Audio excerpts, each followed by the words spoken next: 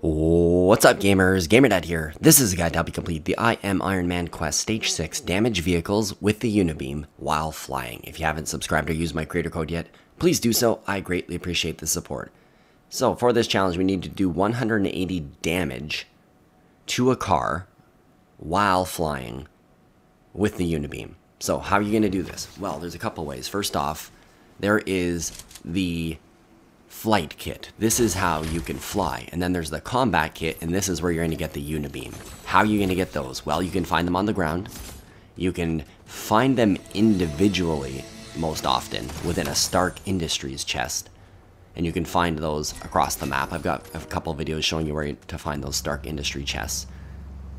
But one easy way is to wait for an armor stand, a Stark armor stand. When you see these on the map after Storm 2 of 12, there's a War Machine stand, and then there's a Stark Industries stand. So clearly this one is the Iron Man, and the War Machines one is more of like a darker gray slate color. So what happens with this is you come in, there's this crazy contraption, and it will say take. If you get close enough, you'll look for the button, it'll say take Iron Man or take War Machines loadout. So that's why you want to go to Iron Man's loadout, and you want to make sure you go to one of the Iron Man armor stands, because it's the one that will give you the combat kit and the flight kit. The flight kit will allow you to be flying, and then the combat kit is what gives you the unibeam, right? So go for the armor stands. Wait till Storm 2 of 12.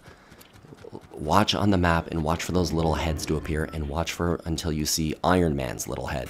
And you want to head there as soon as possible. One thing, they have definitely pulled back on the cars. Cars are like so scarce, it is ridiculous. So just fly around using the flight kit until you find yourself a car. Now when you have the flight kit, you can see on the left side there, you can launch yourself up in the air, and then while you're flying, you can do this. Now see how it says L, L2 is the unibeam and it says it requires the combat kit? Now, see this here? That is the ram attack. Do not do the ram attack on the car. So I find a car. I've got my kit and I'm going to come up in the air and I can just stop and chill. I can line up my target just like this and then I will fire L2 the unibeam. I'll hit that car and the challenge is complete. I do hope the guide is helpful. Please drop a like leave me a comment and if you haven't subscribed or used my creator code yet, please do so. I greatly appreciate the support. Until the next video, this is GamerDad out. I don't really know what I'm doing, but all I can do is try. I'm biting the clownberry, so to speak. Seriously. I'm proud of you. Thanks, Jones.